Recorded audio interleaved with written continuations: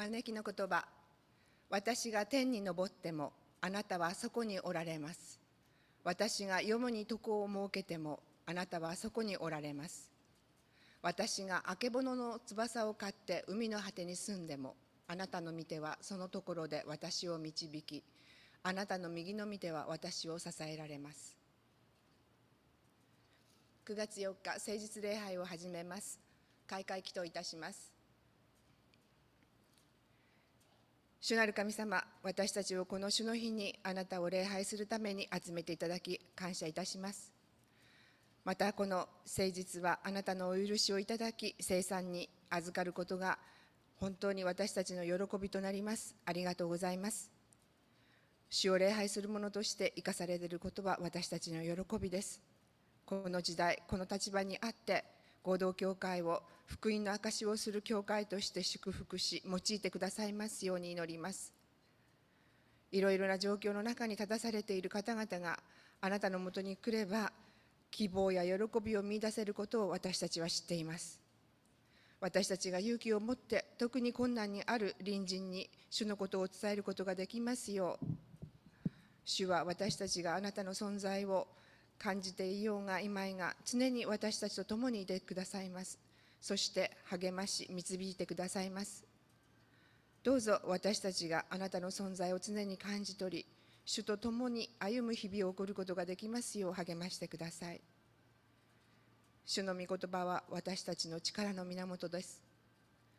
あなたの御言葉で正しく生きる力を得ることができますよう今に生きる私たち一人一人に主は人の愚かさやその克服をできる御言葉を与えてくださりその御言葉によって日々清らかに過ごすことができますことを信じます。本日御言葉を取り継がれますインフォ研修生を祝福してください。また私たち一人一人がまかれます御言葉の種を大切に育てていくことができますようお導きください。この1週間も主と共に歩む1週間となりますよう一人一人を励ましてください。礼拝を主に捧げます。私たちの賛美が主の御心にかないますようにイエス様の皆によってお祈りいたします。アーメン。アーメン。それでは皆さん共に賛美いたしましょう。お立ちになれる方はお立ちになってください。賛美する曲は主はブドの木です。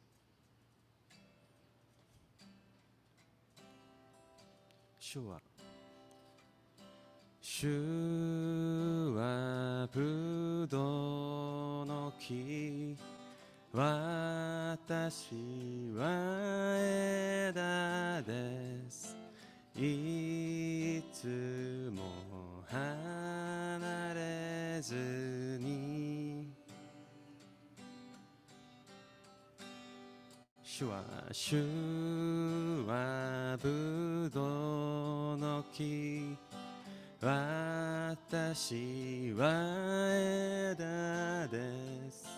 豊かな実を結ぶ。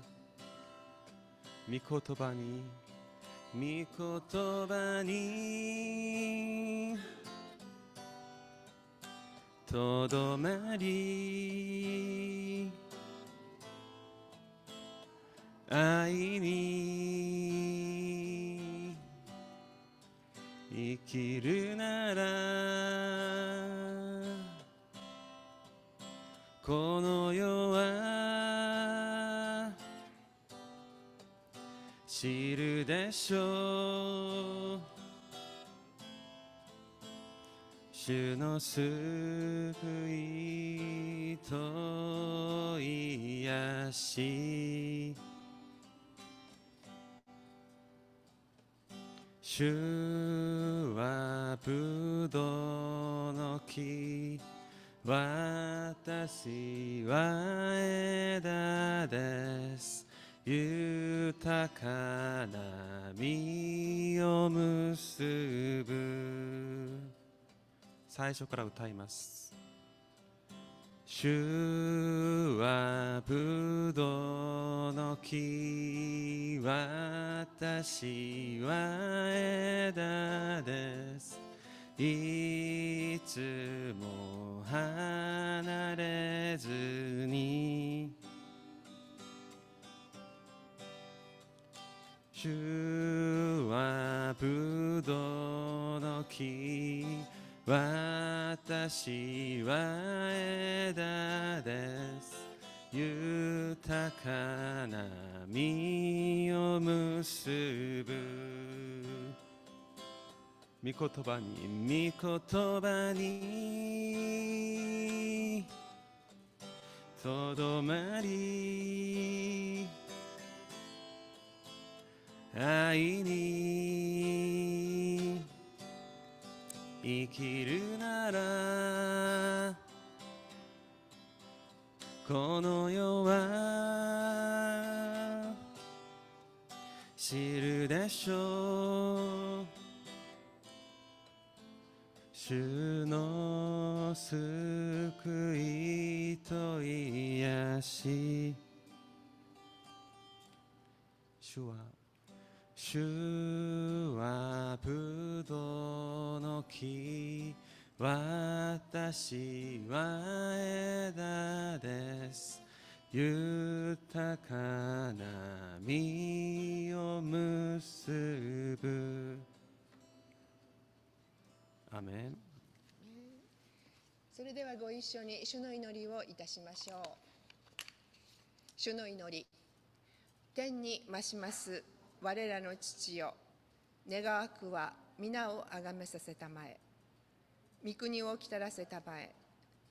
御心の天になるごとく地にもなさせたまえ。我らの日曜の糧を今日も与えたまえ。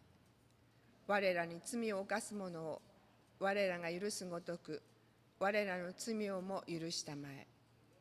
我らを試みに合わせず悪より救い出したまえ。国と力と栄とは限りなく汝のものなればなり。アーメン。それではお立ちのまま、えー、賛美歌525番。あごめんます。すみません。失礼しました。間違えました、えー、賛美歌90番。ここも神のをご一緒に賛美いたしましょう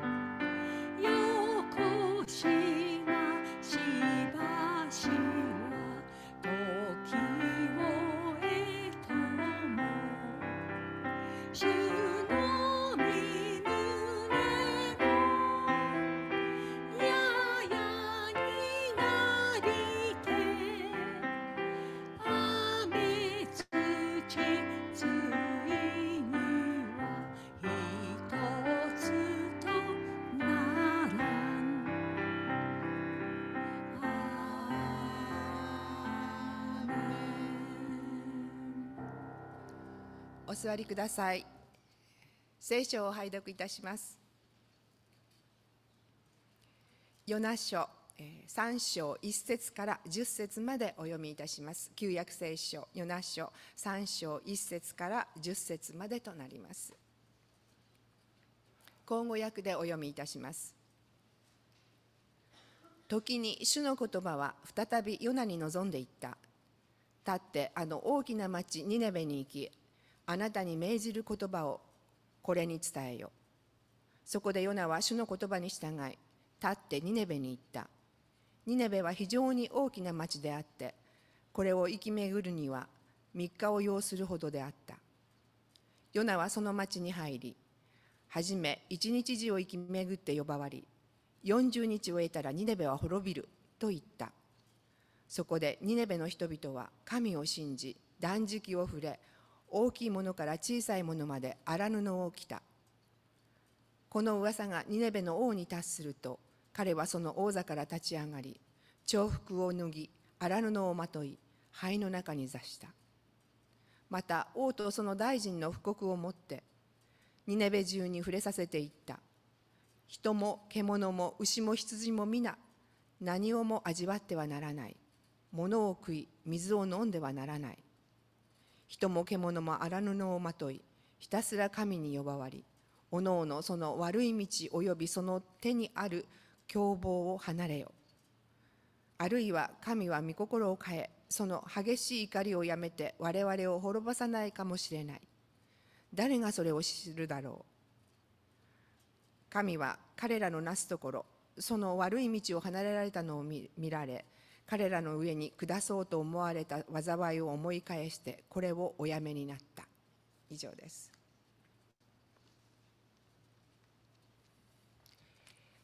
あらゆる良い贈り物あらゆる完全な賜物は上から光の父から下ってくる。父には変化とか回転の影とかいうものはない。天の父なる神様今朝も敬愛する兄弟姉妹方と共に9月の第一聖日この麗しい街道におきましてまたズームにおきましてハイブリッドの礼拝を守ることのできます。この恵みこれより御名をあがめて感謝を申し上げます。神様あなたは良きものをお作りになりまた与えてくださるお方であられることを感謝いたします。あなたは善にして善をなしたもございますが私たちのために善を行ってくださるお方であられることを皆をあがめて感謝いたします。どうぞいよいよ私たちの心にあなたの愛を御霊によって注いでくださりまた良きものによって私たちを養ってください。そしてどうぞ私たちがあなたにあって主にあって一つであることができますようにいよいよあなたが守ってくださいますように保ってくださいますようにお願いを申し上げます。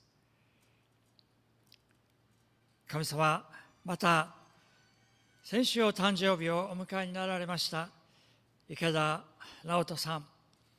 また渡辺シャーリーさん覚えることございますがどうぞ豊かにあなたの恵み守りがあり導きがありますようにご祝くださいますようお願い申し上げます。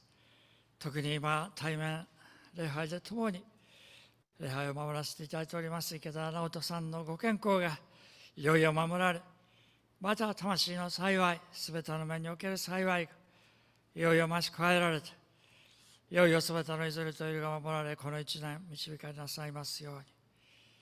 あらゆる面においてまたあなたの幸いご祝福を注いで差し上げてくださいますようにお願いを申し上げます。神様はまた先週は菅野福島へが道路でこの転ばれてそして母ちゃんとケアで治療をお受けになられました。本当に神様私たちをお祈りさせていただいておりましたが今えーもうだいぶ良くなられたということを伺うことができて皆をあがめます。痛みが少しまだ終わりになるようであられますがどうぞあなたがさらに守り全く回復にいよいよ導いて差し上げてくださいますように。いよいよまた恵みと平安を豊かに注いで差し上げてください。また本当にご長男がいろいろ助けてくださっておられます。神様どうぞ豊かにご家族にまたお送りくださいますよまた芝居のために本当に励ましてくださりまたお祈りしてくださいましたお一人一人。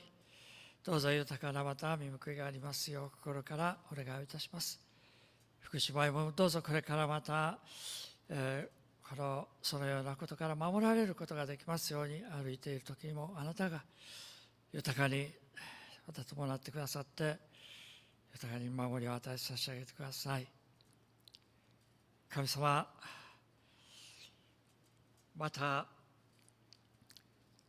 本当に、えーこの中村パーム姉妹が日本においての手術をお終わりになられましたがしかしまだ痛みが残っておられるということを伺っております。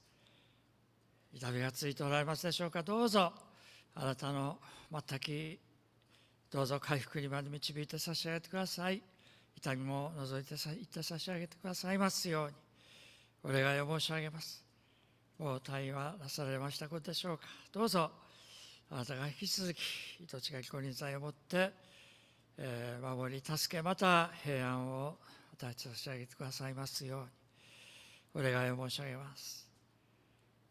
神様はまたリー・ミシコ姉妹いよいよあなたがお医者さんの本当にインストラクションをお与えになられたことでございますがどうぞ一歩一歩どうぞ良くなっていかれますようにあなたがまた導いて差し上げてくださいますようお元気を力をまたと与えて差し上げてください疲れを癒して差し上げてください。豊かなあなたの見守りがいよいよございますように。またご家族の上に本当にあなたのまた見報いがありますよう。お願い申し上げます。神様またどうぞ久野進さんがお医者さんと面談なさってまた良き導きを与えられておられることでありますがさらに兄弟最善の導きが与えられまた神様どうぞ体がいよいよ安定していくいかれますように。これからお願い申し上げます。あなたの守りがまた平安が豊かにまた与えられますように。特に献身的に、えー支えてくださっておられます。渡辺久義姉妹また家族豊かなまた見報いを与えて差し上げてください。神様またどうぞ手術を終えなさいました川口陽子姉妹坂本史郎姉妹坂本史郎兄弟どうぞお一人お一人にいよいよあなたの全く回復が与えられていかれますように。どうぞ守りとまた、平安をいよいよ増し加えて差し上げてください。あなたの最善の導きを信じます。神様どうぞ弱気を覚えてらっしゃるお一人一人またご高齢のお一人一人にいよいよあなたの守りが道からが与えられますように平安が与えられますように心からお願いを申し上げます。また神様は今日は生産式を共に守らせていただきますがあなたのどうぞご臨在のうちに恵みのうちに守ることができますように。またこの礼拝においてまたさまざまな場においてご奉仕してくださっておられるお一人一人にいよいよあなたの豊かな見報いがありまた新たな御霊の満たしが豊かに与えられますよう心からお願いを申し上げます。また神様は特に日本語訳員の一人一人いよいよ知恵を与えくださって豊かな導きありますようにまたご愛労に見報いがありますよう心からお願い申し上げます今日はインフォ研修祭がご用意してくださいますがどうぞ御言葉をご祝福くださりまた豊かに新しく満たして用いて差し上げてくださいますようにお願いいたしますこれからの新しい習慣を見てにおいだしつつ礼拝後半の時も待ち望みしつイエス様のお名前によって感謝して御前にお捧げいたしますアーメンそれでは聖歌292番今日まで守られをご一緒に賛美いたしましょう。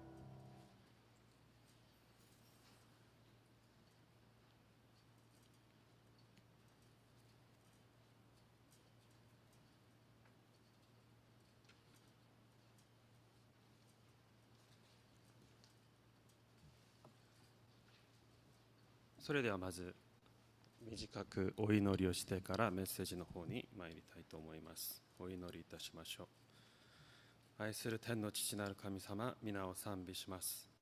今日もこうやって日本語部の皆さんと共に礼拝を捧げられることを感謝します。これからの時間をすべてあなたの御霊の働きによって満たしてください。そして私たちが今までの自分中心的な人生の生き方からあなたの御心あなたの身胸に従う人生に向けて自分たちを変えていきますようにあなたが力づけてください。これからのすべてを見てに委ねます。主イエスキリストの皆を通してお祈りいたします。アメン。はい。今日のメッセージはヨナ書の3章ですね。で内容はヨナの従順に関する内容です。で今日のメッセージを通して特に神様が私たちに望まれる従順が具体的にどういう形なのかどういうことなのかヨナの経験を通してヨナの話を通して学んでいきたいと思うんですけど3章の内容を一節ずつ見ながらメッセージを進めさせていただきます。まずヨナ書3章の一節で聖書はこう言います。時に主の言葉は再びヨナに望んで言った。主の言葉が再びヨナに望んで言ったと言います。じゃあこの再びヨナに望んだ主の言葉っていうのは一体何でしょうかね。ヨナ書1章の2節に初めて主の言葉が、えー、と書かれています。ヨナに与えられた主の言葉が書かれています。それは立ってあの大きな町ニネベに行きこれに向かって呼ばれ彼らの悪が私の前に上がってきたからである。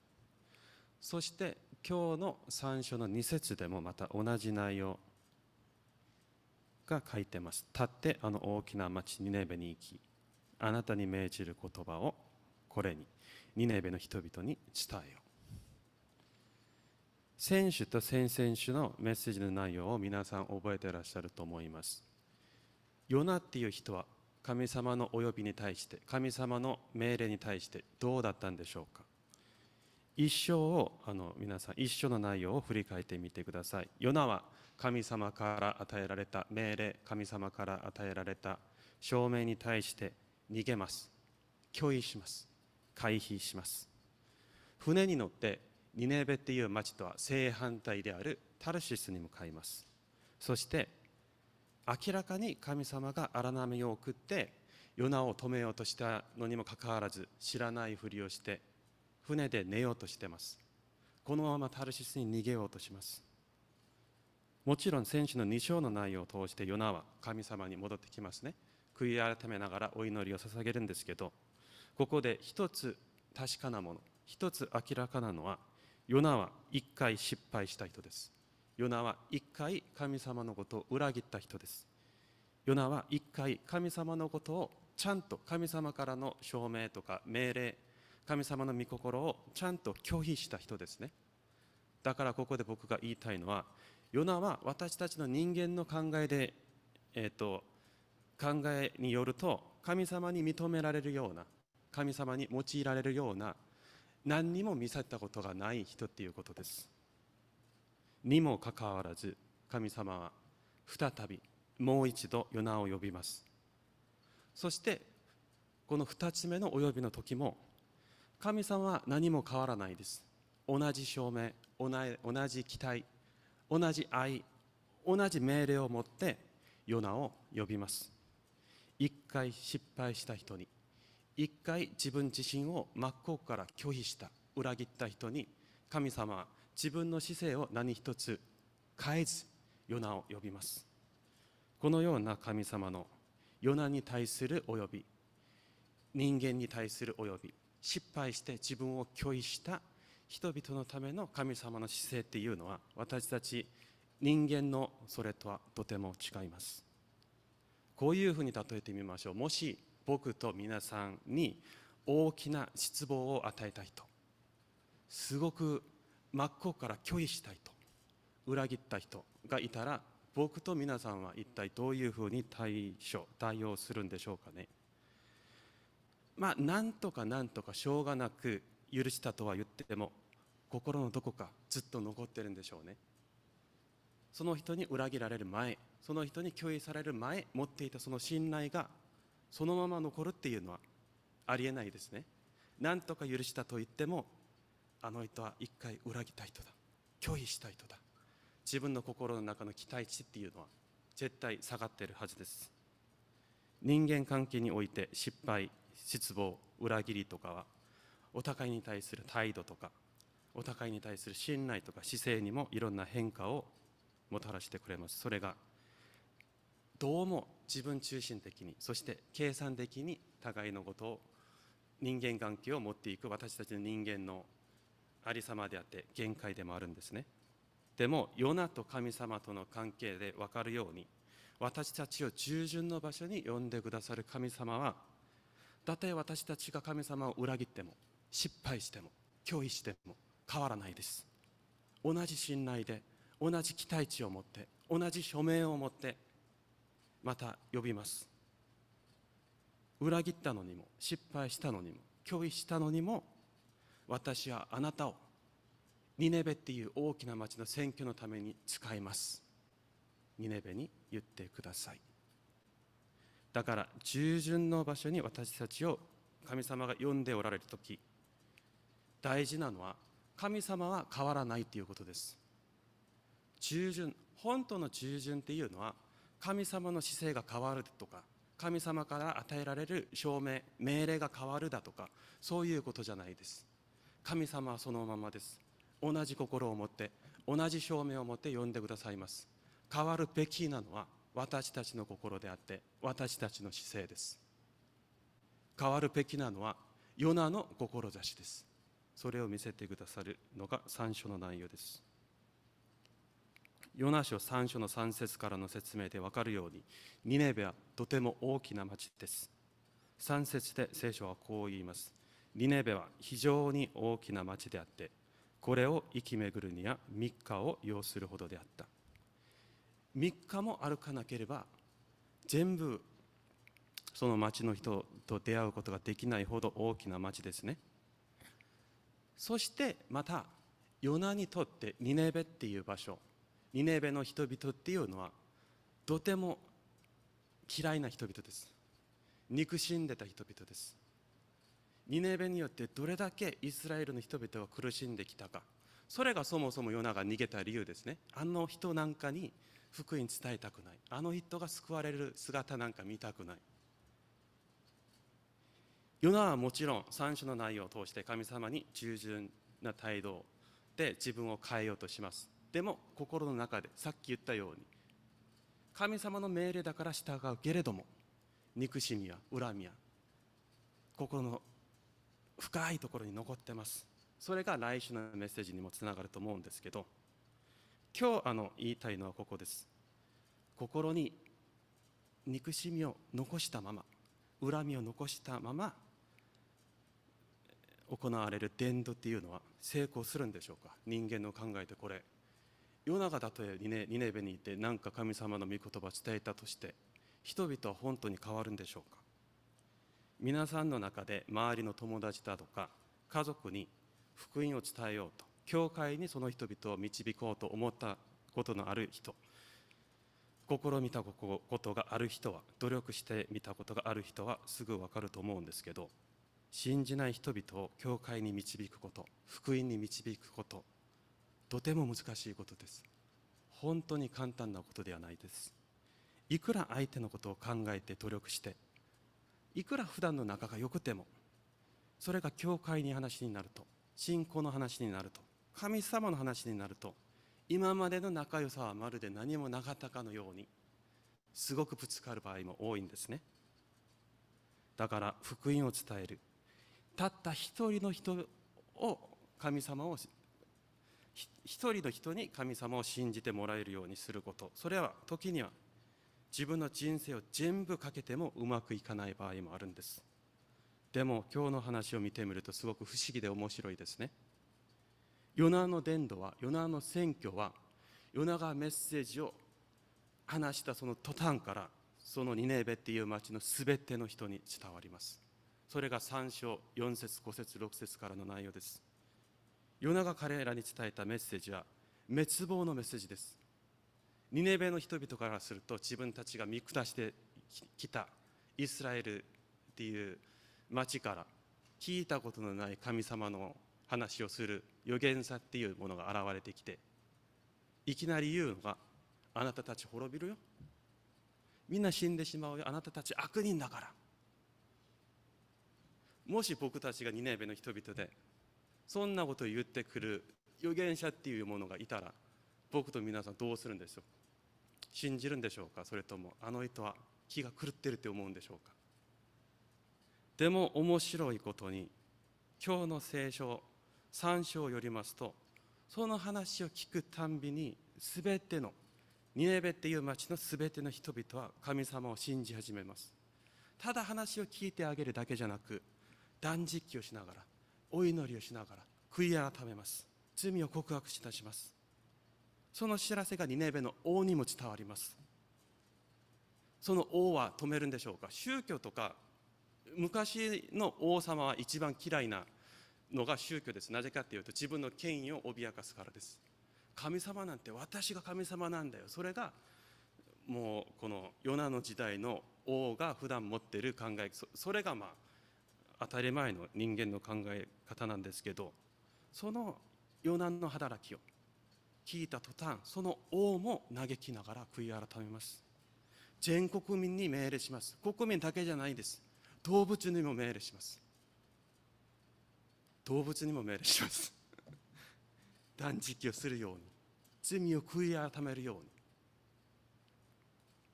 悪から逃れようとする本当の悔い改めの姿。ヨナの働きによって行われる。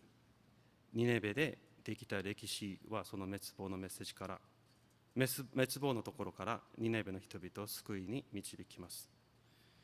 じゃあここで考えてみたいんですね。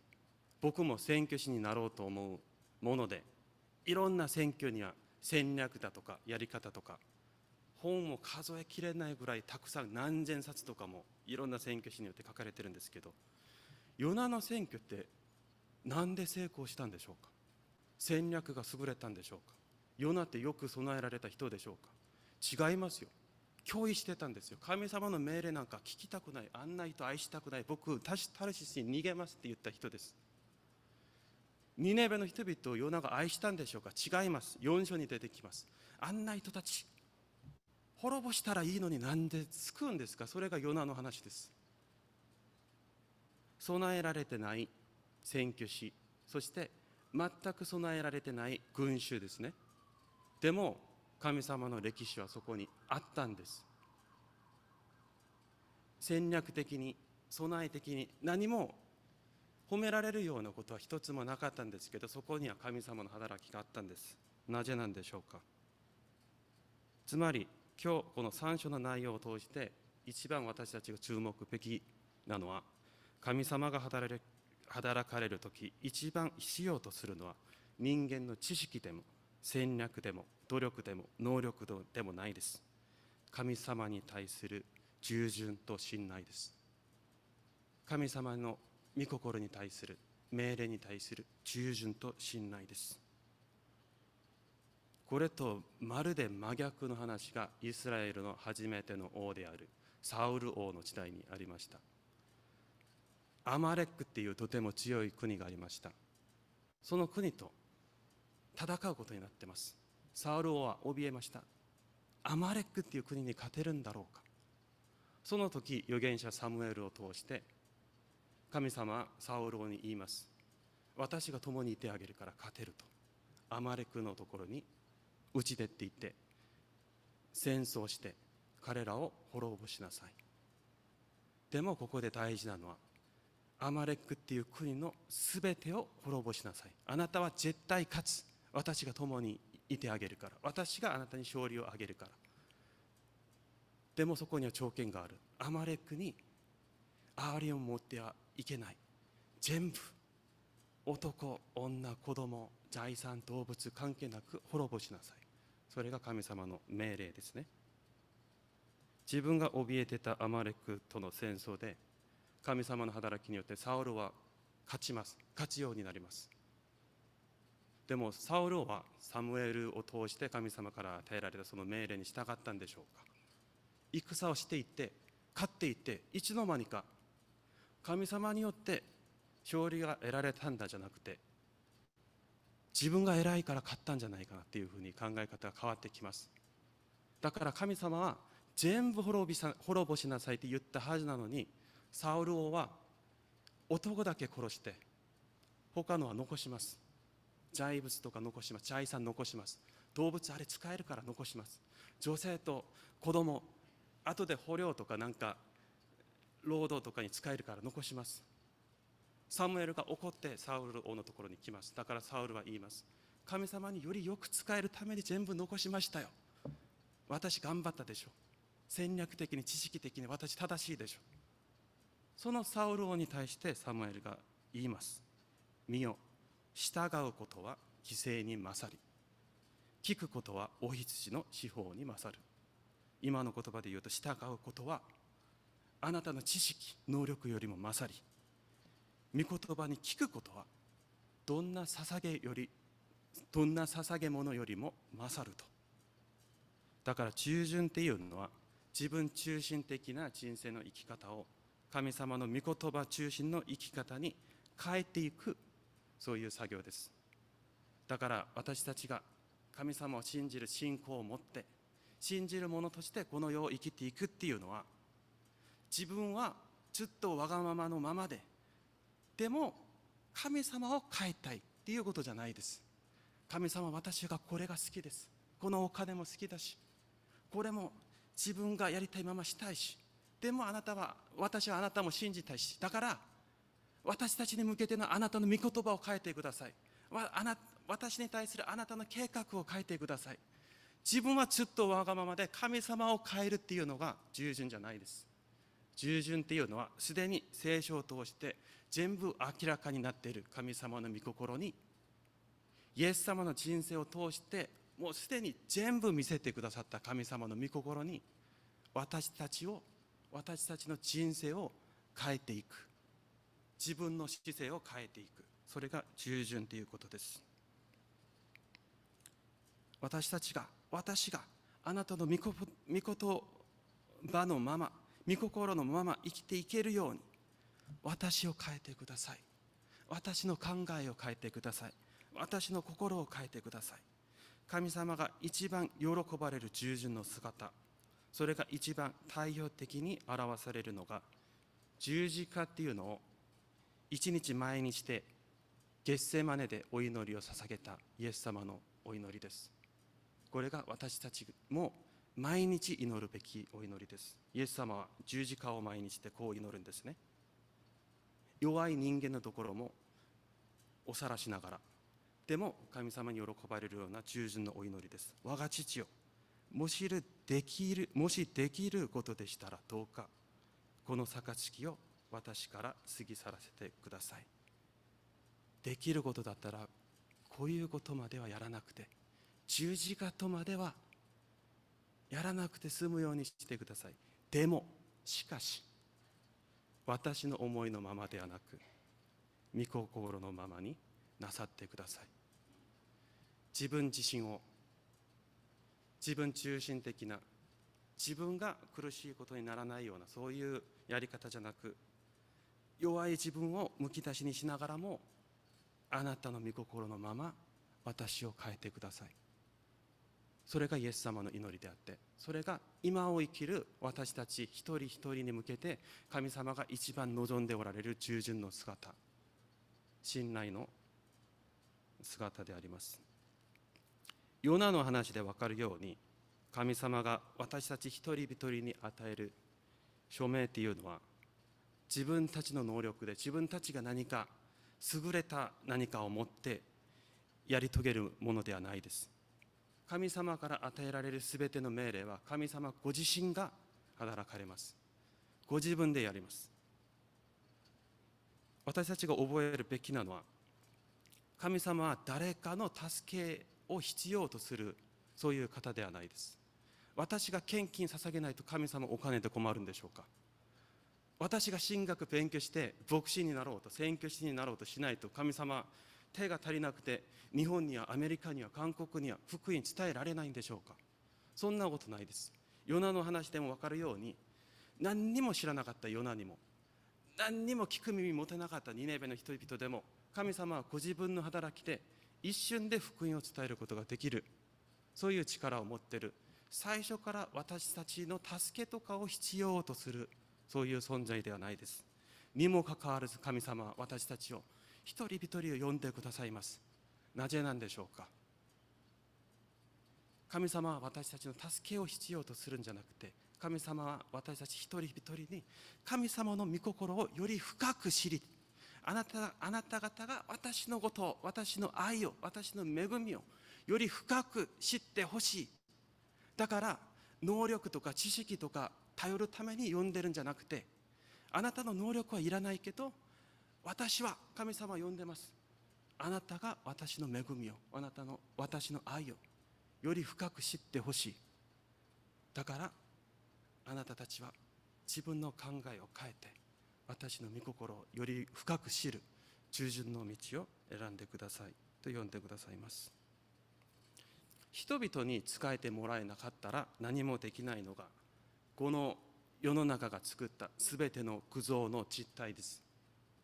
なんかすごいお寺とかなんかすごいところがあってこの世が人々が自分で作った神っていうのは人々が頑張って何かをやって捧げ物をして努力して何かしないと何もできないような存在ですね。でも私たちが信じる神様っていうのはイエス様も言います。人々に使ってもらうために人々に奉仕してもらうために来たわけじゃないです。自分が使えるために来られました。自分が一人一人この世愛する一人一人を救うためにご自身がこの世の中をに救いを与えるために来られた方です。だから従順の時に私たちが覚えるべきなのは変えるべきなのは神様じゃなく神様が私たち一人一人に呼んでくださるその署名の内容じゃなく私たち自分の心です。自分の姿勢です。それを、えーと、神学的な用語で言うと成果って言います。私たちが変わっていく。私たちが自分を変えていくべきです。だからヨナの話と同じように神様は僕と皆さんを神様への従順の場所に呼んでおられます。私たちの何かが必要で助けてもらえないと困るからじゃないです。神様は一人だけで十分なのにでも私たちのことをとても愛しているからゆえに私たちが神の愛により深く理解できるように従順っていうことを通して神様は私たちともっと親密な関係を深い関係を持ってほしいと思います。私たちはいつも自己中心的な考えとか望みとかに溺れて私たちに対する神様の計画神様の御心を変えようとします。お祈りの中でそんな祈り僕自身も含めてたくさんあると思います。これやりたくないです神様。私にはこれをください。あなたの愛とか分かるんだけどそれ疲れます。私はもうここら辺で自分の好きなところでお金だけたくさんあげます。それぐらいで勘弁してください。あなたの愛とか学びたくないです。そういう自己中心的な祈りを捧げる場合が多いのが僕と皆さんのお祈りの中で、まあ、あると思うんですけどヨナの話で分かるようにそして神様のお呼びを通して分かるように神様一番喜ばれる従順っていうのは私たちが自分自身の弱いところをむき出しにしながら時には疲れるし時には大変なんですけどでも神様私のわがままじゃなくあなたの御心のままに私の心を私の人生を変えてください。そういう誠な従順を持ってもちろんこれは一瞬でできる作業ではないですね。人生をかけてもできるかできないか。多分できないかもしれないんですけど自分を変えようとするその人生の歩き方こそが正しい方向だと思います。その方向を歩かないと神様が喜ばれる従順っていうのは私たちがどれだけたくさんのお金を献金しようが叶わないことだと思います。だから神様の命令に神様の愛に神様の御心に従う僕と皆さんになることをお祈りします。じゃああの締めのお祈りをします。愛する天の父なる神様皆を賛美します。今日も礼拝を通してこのメッセージを通してあなたの身胸を語ってくださってありがとうございます。もし僕が何か間違ったことを語ってしまったらあなたが、えーと、聞く皆さんの耳にあの知恵を授けてください。そして何よりも自分中心的な考え方であなたを信じるわけではなくあなたの御心に従順な私たちとならしてください。この合同教会の日号部があなたに喜ばれるあなたに従う共同体とならしてください。これからの時間もすべて御手に委ねます。主イエス・キリストの皆を通してお祈りいたします。アメン。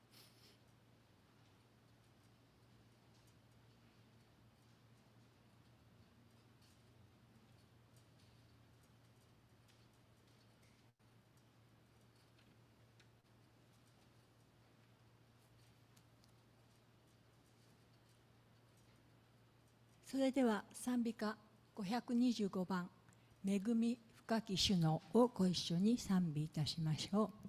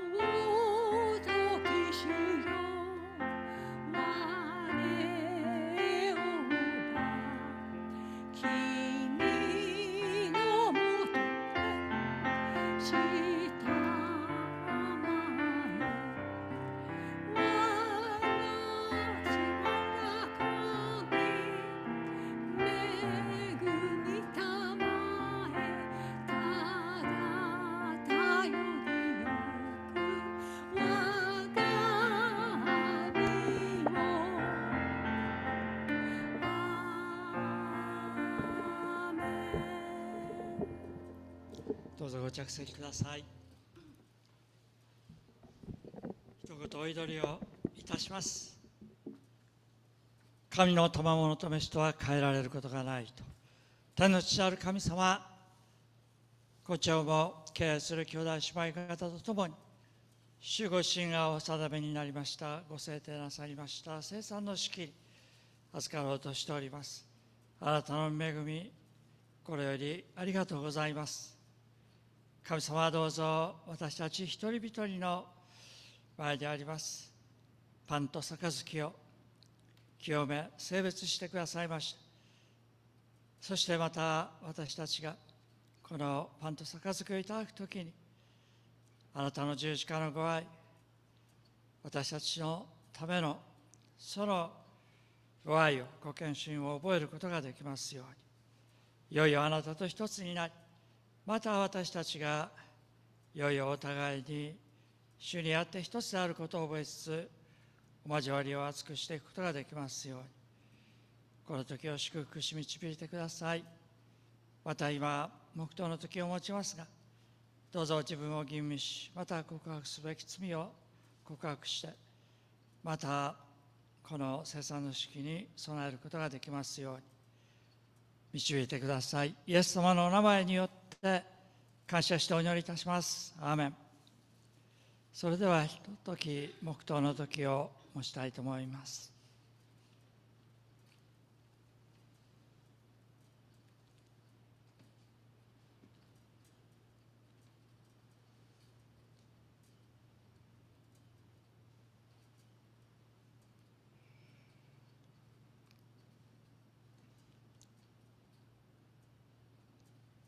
主イエスは渡されるよパンを取り感謝してこれを裂きこう言われました。これはあなた方のための私の体である。私を記念するためこのように行いなさい。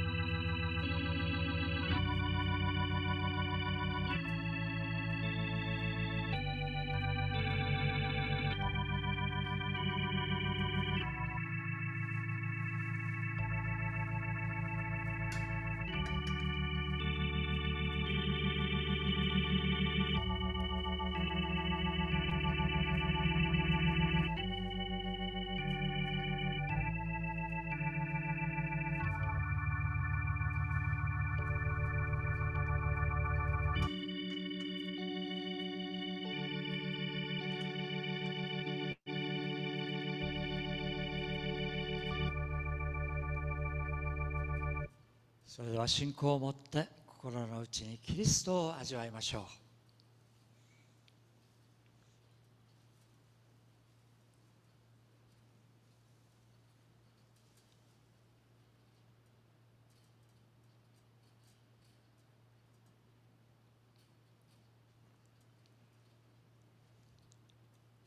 主イエスは同じように杯を取り感謝を捧げて後こう言われました。この杯は私の血による新しい契約である。飲むたびに私の記念としてこのように行いなさい。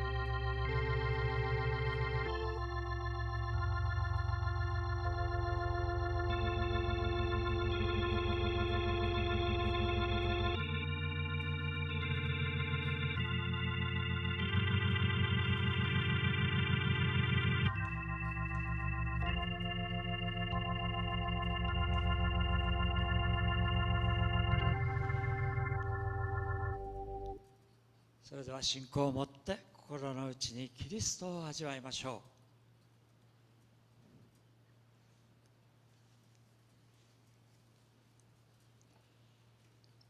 う。ご在天の父なる神様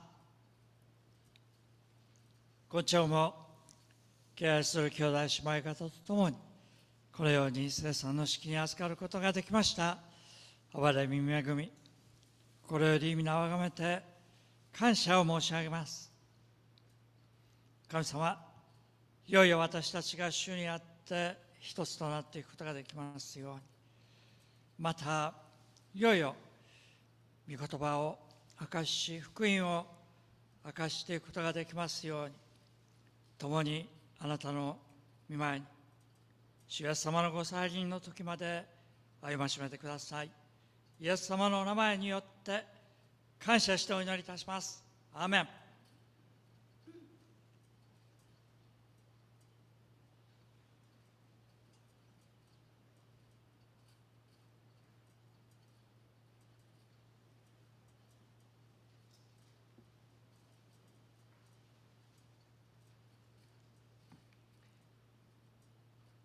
はご一緒に献金のお祈りをいたしましょう。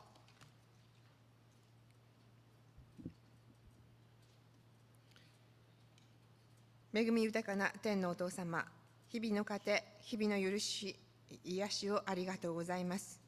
あなたのすべての恵みを感謝いたします。この恵みに力づけられさらに豊かになることができますよう励ましてください。与えられました豊かな恵みの中の十分の一を感謝を持ってあなたにお捧げいたします。どうぞ主の御用のために清めていただき用いることができますように。イエス様の皆によってお祈りいたします。アーメン。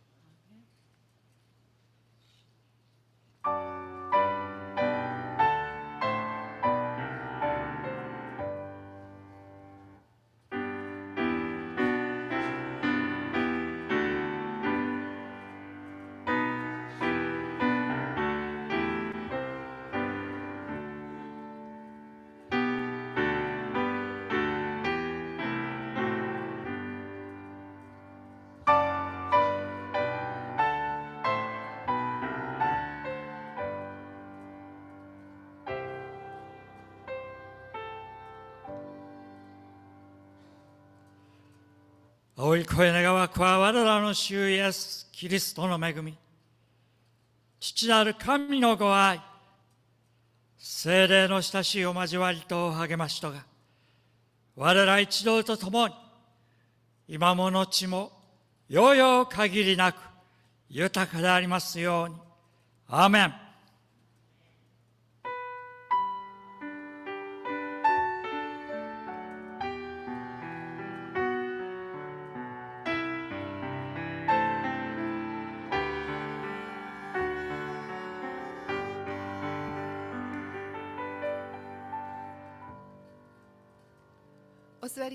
い、え今週のお知らせをいたします。